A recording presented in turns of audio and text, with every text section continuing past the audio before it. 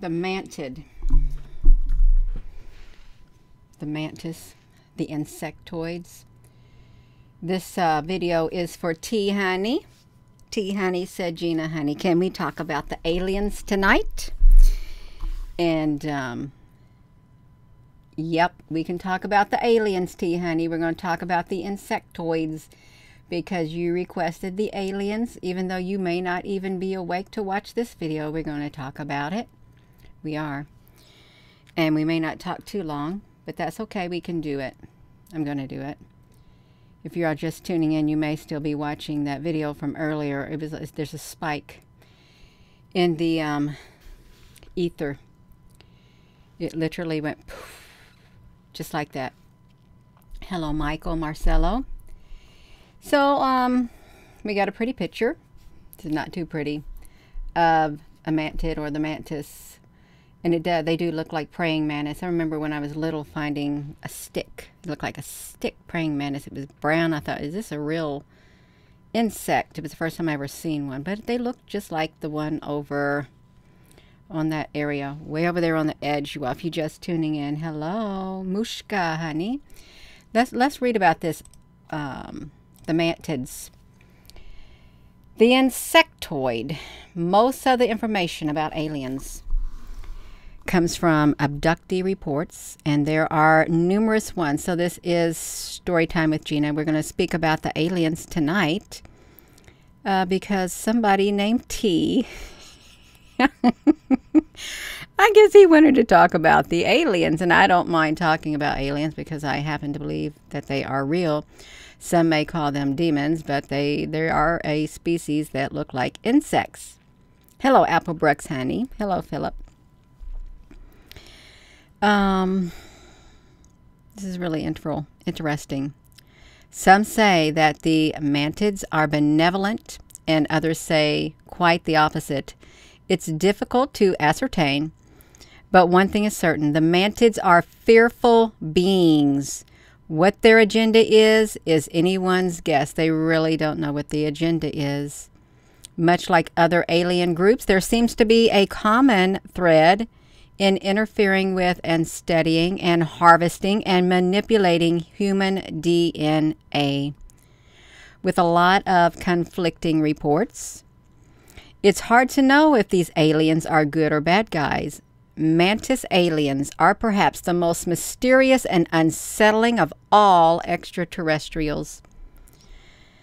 These beings appear with many abduction scenarios. I haven't really heard I heard of one person who specifically talked about this one species of being abducted by, she was like the queen, some kind of queen insect.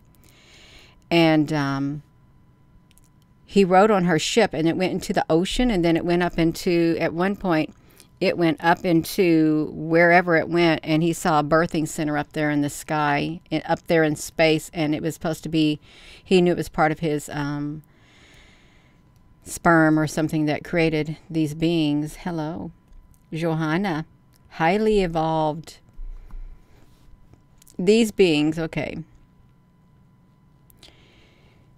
Oh my goodness. The abductees report the ominous presence of these entities looming over their beds as they awake in the dead of night. While the mantis is not as widely reported as the gray and Nordic alien, it still holds important roles within the extraterrestrial contact scenarios. And then you have the Native American and African folklore.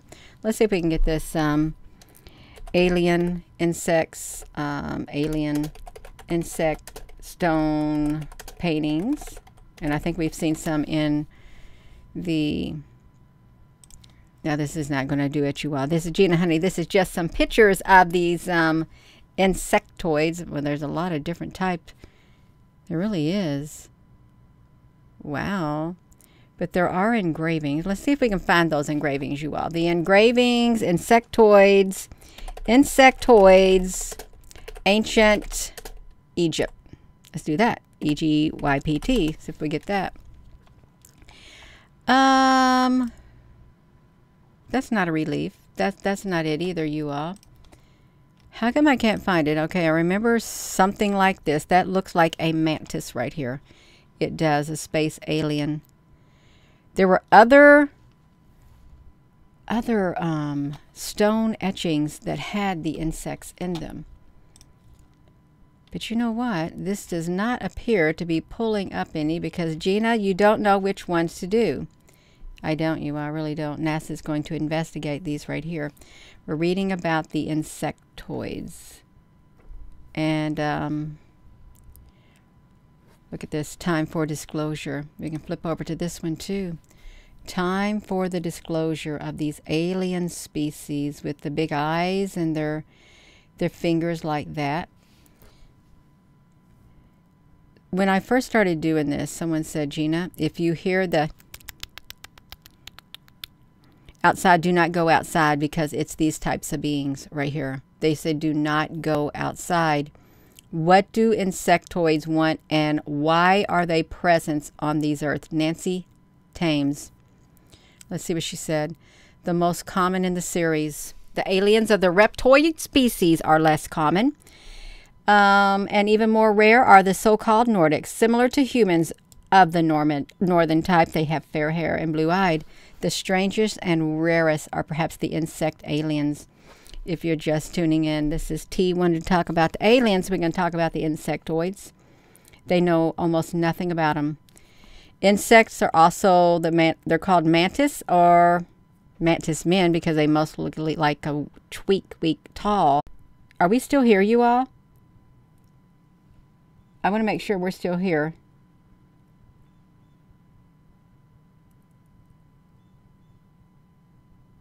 Okay, we're here. We're here. We're here. Hello there, Justice. According to Eyewitness, the insectoids are tall, not less than two meters tall, with a lean and slender body, thin limbs, and they have triangular mantis like heads. They've got small eyes and a tiny mouth. They do not wear clothing, and their bodies are covered with something like a rigid and segmented chitinous shell, such as an insect's. They differ in male and female, but Externally, these differences are almost imperceptible. What is the most curious about them is that the insectoids, most often seen off spacecraft and not during the abductions, but by chance in a park or other place. Therefore, there is a version of an insectoid that they are not from another planet, but from another dimension. However, when the insectoids are observed with grays during abductions and experiments, they behave as senior officials. Has have you all seen them? Have you seen any insectoids with grays? I didn't. I wasn't sure that they would. Um, they work with the grays. That's kind of scary. There have been few reported cases where the insectoids have personally performed cruel and painful experiences with humans. Okay, now we got a witness right here in New Jersey. This is this is wild. In 2002, two witnesses, two residents of New Jersey went fishing at Stephens State Park near Hackettstown. They were fishing quietly on the river bank when one of them suddenly felt a strange vibration in their right ear. He looked away and he saw a mantis like creature about two meters high. Has anyone saw? Have you heard a strange vibration in your ear? And you look, but you didn't see one? But what if you did have a strange vibration in your ear like this? Would that mean that there was like one of these mantis standing around you? Look at this. The creature was standing on the shore and his arms were bent in prayer, like praying mantis. His head was triangular and small, and the creature had a black and gray color. And then it disappeared as it suddenly appeared. Now, this is, I think this is the black and gray color. It appeared and it disappeared. And grays have great big black eyes too. And they're gray. But the mantis is gray with the, the hands like that. So, did they create the grays, these praying mantis? And where do the reptilians come in, you all? They're bound to come in somewhere. In 2004, in the area of Stephens Park, another fisherman saw a similar creature. He tells, I caught his movement with the corner of my eye. And when I turned around, I saw a humanoid. He was tall like a man. His legs were long, and his knees turned back like a grasshopper. He looked at me with huge, slightly laid back black eyes on a triangular head. His whole appearance reminded me of a mantis. His body was somehow irregular and unstable, but it was clear that his this creature was strong. I stared at it for a few seconds and then it disappeared as if it had leaked out into another reality. Later, when I thought what he looked like, I remembered that his hands were not like a mantis, but they were humanoid fingers. How could they be humanoid fingers? And then they got more. Then they got more. If you're just tuning in, T, although he's probably not going to be here, he's probably asleep since he's on the other side of the world. He wanted to talk about aliens tonight. So when he sees this video, even though he's not present, he will know that Gina Honey did this video for him. T Honey, that's right. I did.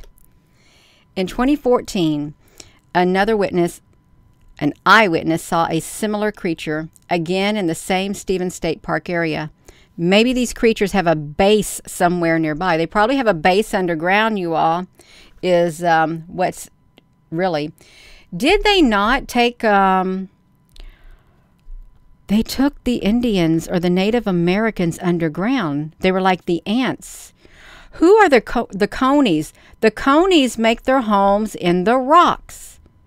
Remember that? That is in the Proverbs. I think that who are the conies? The conies make their homes in the rock. Okay, the conies. The conies, now listen how they're talking about them. They're folk, they're calling them feeble folk. The conies are but a feeble folk, yet they make their houses in the rocks. Who are the conies? The rock badgers. The rock badgers are creatures of little power, but make their homes in the rock. Coney Island? Food for thought? What, what is Coney Island? I've heard of it. Coney Island. A peninsula, peninsular neighborhood and entertainment area in southwestern section of New York City of Brooklyn the neighborhood is bounded by Brighton Beach and Manhattan Beach to its east and Lower New York Bay and Gravesend to the north. Includes a subsection of the Sea Gate on its west. Coney Island, all you need to know, the Atlantic Ocean. Um okay, Coney Island, but I want to know who the conies are. The conies make their homes in the rocks. What kind of creatures are they? You think they're a badger? I, I don't know if they would be a badger. Frail as they are, they get plenty of food. Let's read this. The conies are but a feeble folk, yet they make their tiny house. They make their houses in the rocks. There are four small creatures, wisest of the wise. There are four small creatures, wisest of the wise. They are the ants, Frail as they are, they get plenty of food in for the winter. The marmots, they are vulnerable as they are. They manage to arrange for rock solid homes. Then the locusts, the Shephanim, are not mighty people, yet they make their houses in the rocks. The hyraxes, I don't know who these are, you all. Does someone know who a coney is? Um, Gina, why are you talking about the conies? Well, even Solomon spoke of four animals that are little upon the earth, yet exceedingly wise. I want to see the, the wisdom of the coney. I wish I could see a picture of a coney. Okay, there's a coney. It's a furry creature. Okay, so it's a little fur thing. Now I know what a coney is. If you all didn't know what a coney is, and you've had that scripture stuck in your mind because you read it over and over and over and over and over, and now the scriptures are embedded in your mind. Now, this is a coney. They make their homes in the rocks. Okay, that's enough about the conies. You are talking about the insects. They are. Um, they were talking about these insectoids. But you got caught up on, you know, you got caught up on something other than an insect. I know I did. I, I know I did. I did. In 2014, they saw a similar creature again in the Stephens State Park. They think they may have a base somewhere nearby. The creature was not on the shore, but in the water near the shore. So in the beginning, the eyewitness confused him with another fisherman.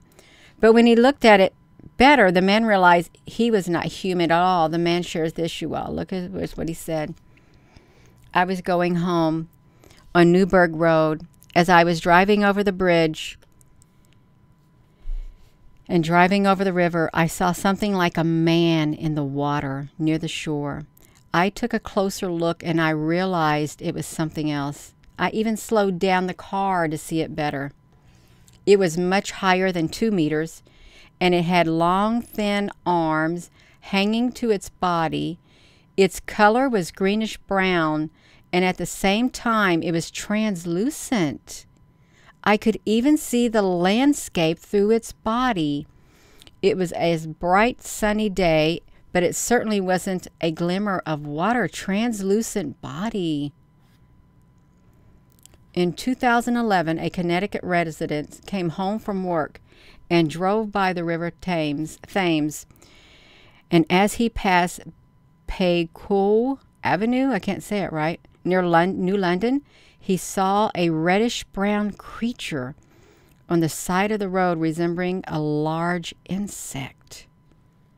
The creature quickly ran two feet to the side of the road and jumped into the drainage shaft. You all, this is happening in people in where people live at these these beings in 2015 in the Big Basin Redwood State Park of California an eyewitness saw something resembling a mantis 2.5 meters high. Does anyone know how high 2.5 meters is? How tall? Is it like um i don't know nine feet or something? I don't know he saw the creature in just a few seconds, after which it became invisible and disappeared. In 2001, a London resident saw two mantis in his bedroom.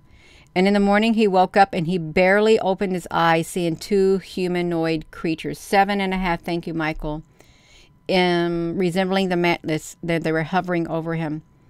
One had clothes on that looked like black chitin armor Oh, wow. One mantis had uh, looked like armor on, like a beetle, and the other was a classic dark green insectoid without the armor. The limbs and the bodies of these creatures consisted of segmented parts, such as the bodies of insects, and they were taller. Tea Honey, did Tea Honey come in here? Tea Honey, let me talk to you. Did you not want an alien? You wanted to talk about aliens tonight, Tea Honey. Did you? How long have you been in here, Tea Honey? That's nice to see you, T. We talking about the aliens just for you. You put out your request. And um, yeah, it's the insects, insectoids right there. We got you. We have got you, T. In 2001, okay, that's right. The limbs and the bodies of these creatures consisted of segmented parts, such as the bodies of insects, and they were taller than men. The man said, One of them lowered his head because he was taller than the ceiling. His head was triangular with a sharp chin, and there were huge eyes at the top, surrounded by something like eyebrows. Their faces did not express anything. One mantis bent over me, and there was something long and metallic in his hand. A green ray, like a laser, shot from this object and struck me right in the eye. I was hurt, but I couldn't move. I even thought I could scream, and I couldn't hear my voice at all. Then they threw something like a thin stick right into my skull, and I could feel them doing something in it. Oh my gosh. I panicked and I closed my eyes. Then I heard some hissing sound. And when I opened my eyes, there was no one in the room but me. You all, that is wild. That is wild. They met over him and they fired a green ray laser at him and it shot, it struck him in the eye and he felt he knew he was hurt but he couldn't move and he tried to scream but he couldn't hear his voice. Then they threw something like a thin stick right into his skull and he could feel them doing something in there. And then he panicked and he opened his eyes and he heard a hissing sound. And when he came through, he couldn't see nobody but him in the room. That is creepy. It's really creepy. I don't know if I'd like it. The date of the incident was not specified, and a man and his girlfriend were kidnapped together at home. They wake up in an unfamiliar room where there were tall insect like creatures. The woman remembers. When they caught me and started pushing me somewhere, I saw my friend laying on a table and doing something with him. Now, wait a minute.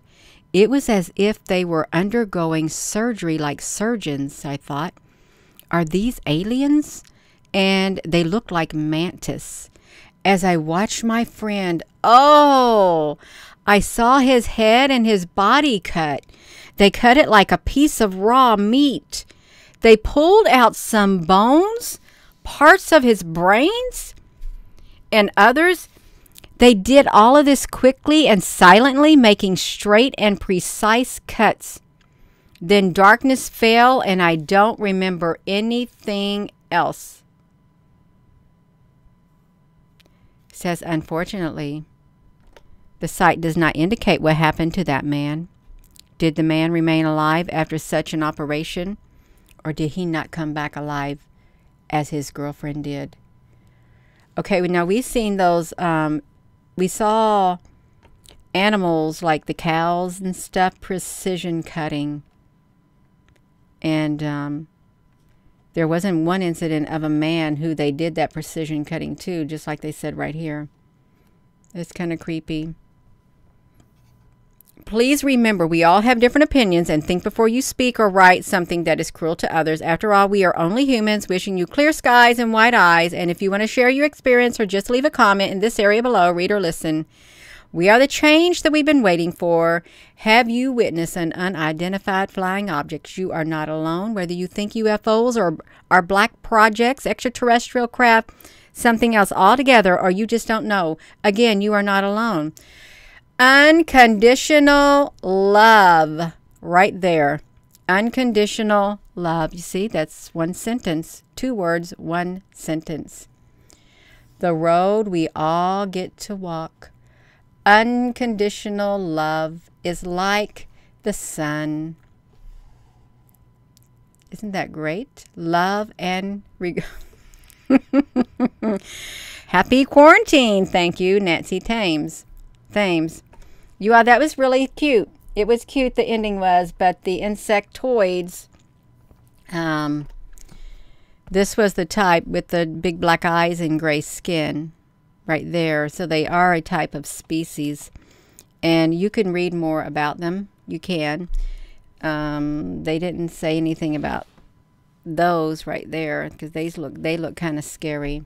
It's like remember the pinching mouth like that from the was it the predator? It did. It had the mouth that opened, and when it opened, it had all these little teeth inside of it. I wouldn't want to see nothing like that. I think I might rather see a regular praying mantis thing, but not nothing like that thing right there. Yeah. Oh, you found a mantis the other day. Another predator. Well, I guess. I guess you all. I am going to go. This is a short video since um, I did a video right before this, and we don't need to talk anymore about those insectoids, the mantids and stuff like that, but they are one of the species, and um, they did precision cuts. I guess you you don't come back alive if they do that to you. You just end up missing. I guess when they made the agreement with the extraterrestrials, it wasn't just one species, it was many species. Probably, if you think about it, many different types of species um, that they made the agreement with, since the mantis were with the grays, you think? They worked with them? Yeah. Um, Michael, honey, you had some aliens come after you? Let's see. The praying mantis female bites the head off the male after they mate. Oh, it's kind of gross. That is, that is kind of gross. Blackjack gator, honey. We don't want to have no nightmares tonight. We do not. But I am going to go. And thank you all for being on here. And with that being said, hello, wherever you are in any part of the world. Hello. From my heart to yours, love you. Have a wonderful rest of your evening, you all. And um, thanks for listening. And check out the video before this because there was a spike. A spike. Um,